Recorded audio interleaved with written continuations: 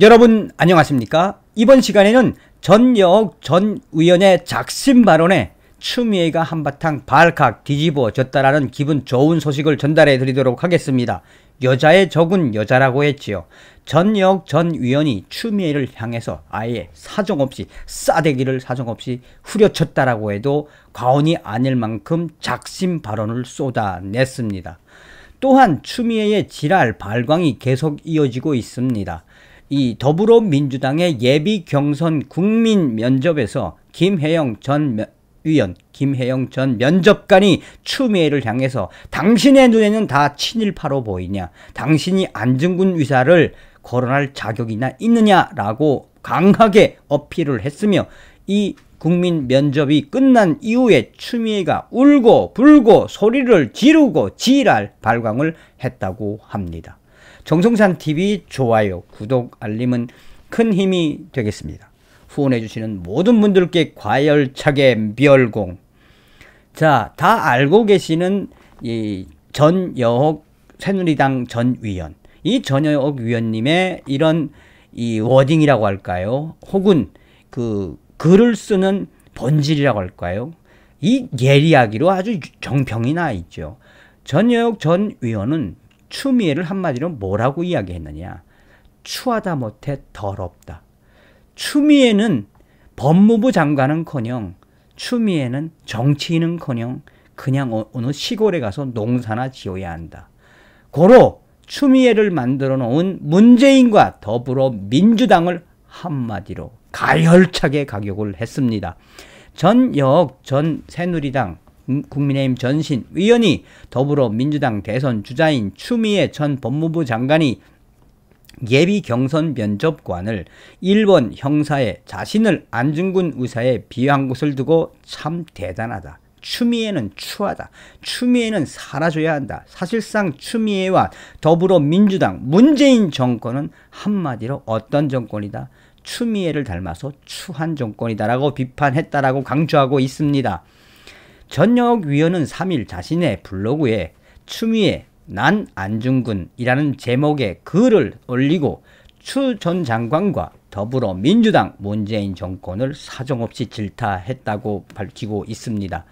전역 위원은 추 전 장관이 민주당 경선 면접관에 대해 안중 의사 안중근을 일본 형사에게 검증하고 평가하는 시기라고 했다며 본인은 안중근 레벨 면접관으로 나온 김해영 전 최고위원은 일본 형사급으로 매도했다며 참 추미애 대단하고 추한 모습이 바로 더불어민주당과 문재인 정권의 모습이다.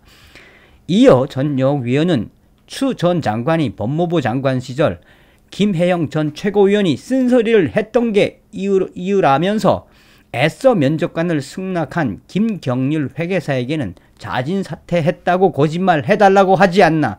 안민석 위원은 한밤중 하태경 위원에게 아닌 밤중에 홍두깨질을 하지 않나. 민주당이 한마디로 미쳐 돌아가고 있으며 이러한 미쳐 돌아가는 것 중에 추미애가 과연 1등 공신이며 추미애의 법무부 장관, 법무부 장관은커녕 동네에 나가서 어느 농촌에 가서 농, 농사일이나 해야 한다라며 사실상 가감없이 추미애를 내리까고 있습니다. 그러면서 이제 민주당 경선 레이스가 본격적으로 시작한다.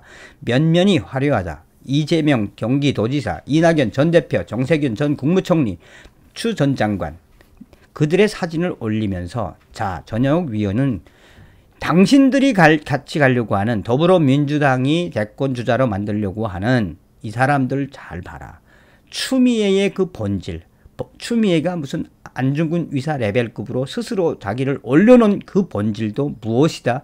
그러니까 무식하면 용감해지는 추미애의 저런 추악한 모습에서 우리 국민들이 왜 저런 자가 법무부 장관까지 했는지 잘 봐야 한다며 그 이후에도 정세균과 나아가선 이낙연, 더불어민주당 대권 후보들도 우리 국민들은 잘 봐야 한다. 사실상 더불어민주당과 문재인 정권은 한마디로 내로남불과 추미애를 닮아서 추한 추하디 추한 정권이며 추하디 추한 더불어민주당의 대권 후보라고 해도 과언이 아니다.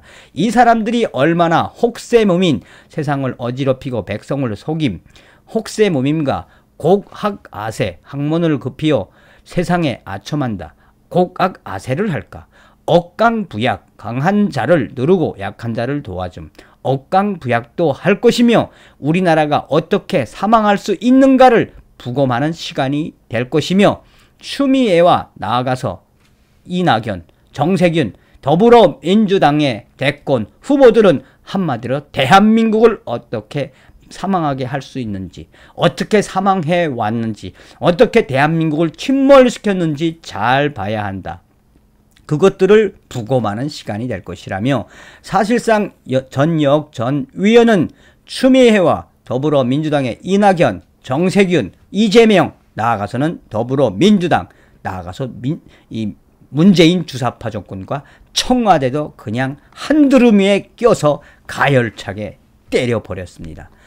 이에 대해 추미애가 발칵 뒤집어졌는데 전역위원회 이러한 평가에 전, 이 추미애는 전역위원에게 돌직구라는 걸 던지면서 전역의 발언에 나는 끄떡하지 않지만 나는 더 강해질 것이며 나는 반드시 이 더불어민주당의 대권 후보 1등이 될 것이니 전역 위원은 그 입을 다물라 그 아가리를 다문다 다물라 사실상 전역의 위원의 발언에 한마디로 전 추미애가 뭐다 겁을 먹었다라고 생각하셔도 될 것 같습니다. 자 이러한 소식과 함께 왜 추미애가 지금 울고 불고 소리를 지르고 난리가 났느냐 그것은 바로 서두에도 말씀을 드렸던 더불어민주당 예비 경선 국민 면접 면접관인 김혜영 전 위원의 발언입니다.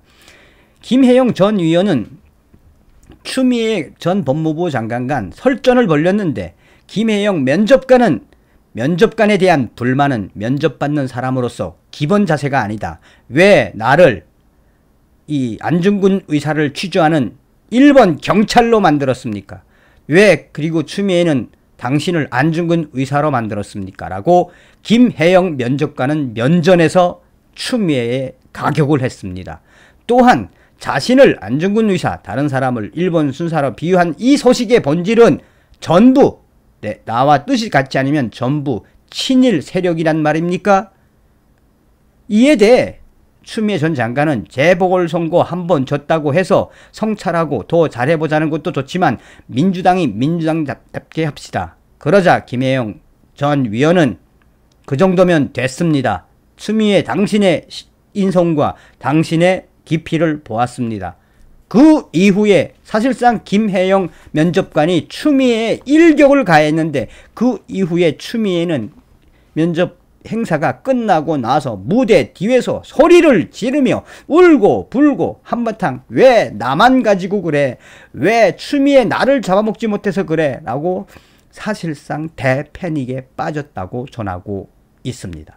이번 시간에는 전역 전 의원의 작심 발언에 또 더불어민주당 김혜영 전 위원 면접관의 충격적인 발언에 추미애가 발칵 뒤집어져서 울고 불고 한바탕 난리난 소식을 전달해 드렸습니다.